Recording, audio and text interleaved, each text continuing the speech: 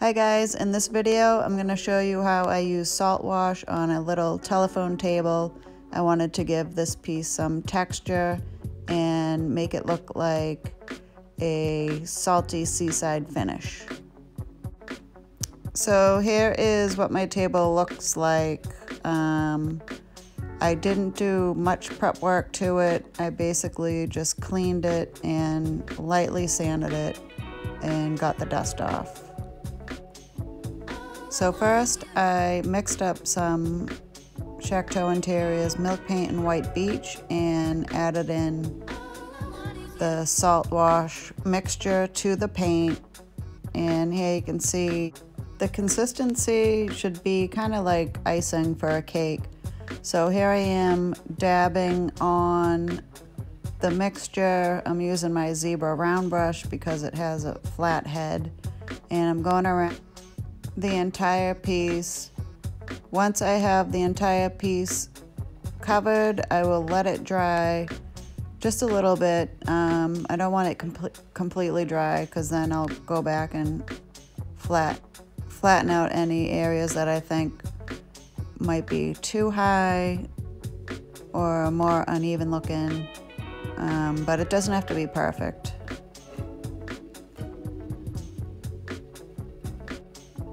So here it is with the piece completely covered in Saltwash and white beach milk paint.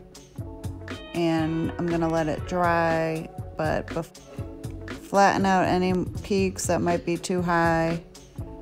And then we'll be ready to put on the top coat.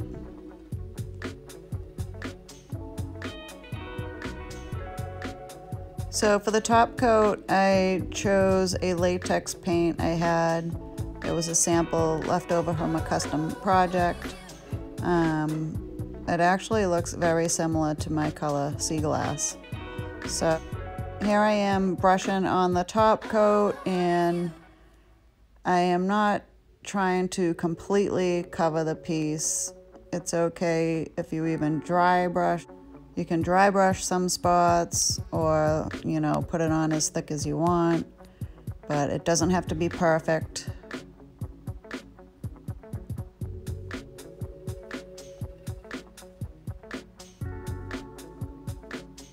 So you want to coat the entire piece with the top coat.